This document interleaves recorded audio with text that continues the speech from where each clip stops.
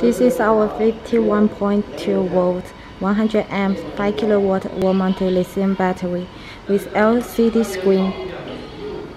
In the menu, you can see the analog information, BMS status, parallel setting, and system setting. In the analog information, you could check the voltage, the current, the temperature of the battery.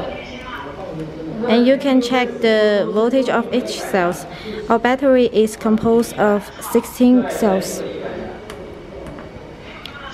And cell capacity. SOC status of charge, FCC full charge capacity, RM remaining capacity, CC cycle count. Our battery has three communication ports, RS485, RS232, and CAN. These two terminals are personalized by our customer.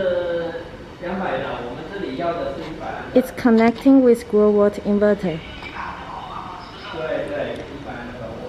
CAN port to BMS port of the inverter.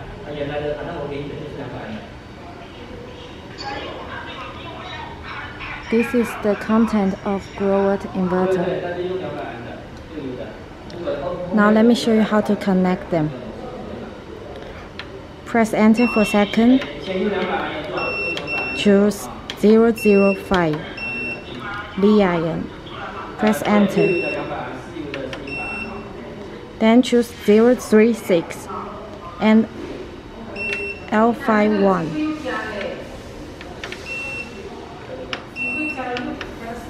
Now they are successfully connected.